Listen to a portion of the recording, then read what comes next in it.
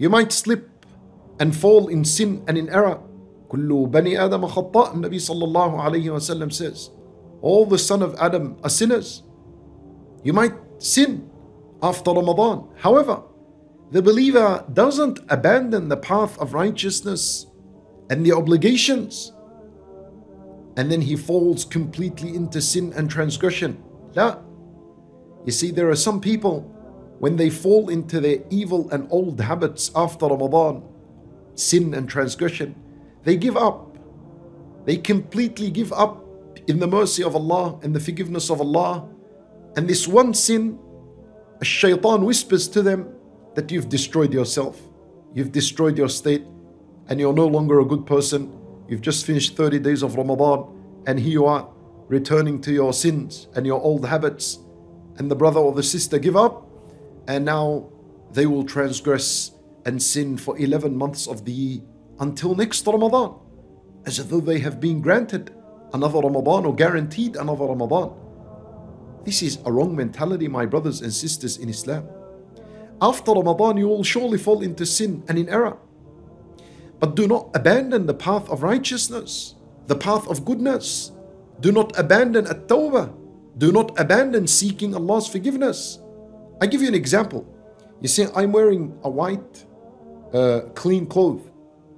If I walk outside with this clean white cloth and I was to walk in some dirt and mud was to come on my white clothing, act like a stain, uh, what would I do? What does a person do? Do you just say, oh, you know, my clothes has gone dirty, and so now you smother your entire dress in dirt? Or are you going to go to the nearest tap and get some water and wash it? Because it's just a tiny dot, just get rid of it. Right?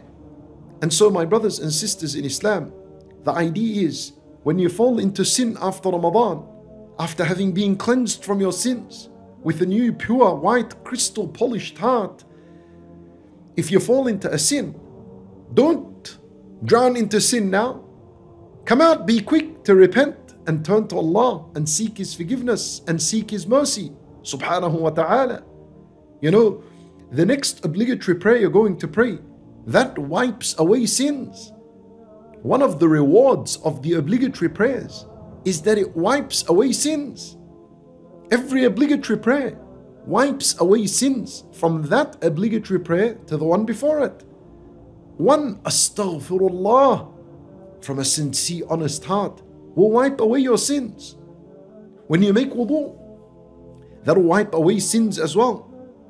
When you say Subhanallah wa bihamdihi in the morning a hundred times, it will wipe away sins, even if they were the size of the foam of the ocean. When you say after the prayers, Subhanallah 33, Alhamdulillah 33 times, Allahu Akbar 33 times, and then you say, La ilaha illallah wahdahu la sharika lah lahul mulk wa al-hamdu wa huwa ala kulli shay'in qadir. It'll wipe away your sins, even if they were the size of the foam of the ocean. Look at the opportunity that Allah Azza wa Jal gives us during the day and during the night to wipe our sins away. So if you fall into sin after Ramadan, don't give up and believe that you're hopeless and that you'll never be able to give up your your bad and evil habits. And then you go all out and drown in sin and abandon righteousness and goodness and tell yourself, Khalas, next Ramadan, I'll make a serious commitment. Don't be fooled. These are the tricks and the games of a shaitan.